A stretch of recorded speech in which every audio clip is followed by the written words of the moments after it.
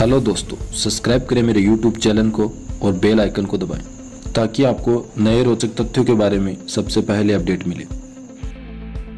दोस्तों आप सबको तो पता ही है कि कोरोना अपना विकराल रूप किस तरह दिखा रहा है। खुशी की बात यह है कि हमने इसकी वैक्सीन अब बना ली है।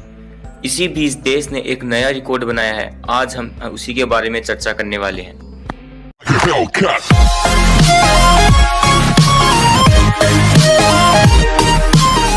दोस्तों, भारत में कोरोना संक्रमण के मामलों में अब गिरावट दर्ज की जा रही है। कोविड के खिलाफ जंग में अब जीत मिलती दिख रही है। कई राज्यों में अब स्थिति सुधरने भी लगी है।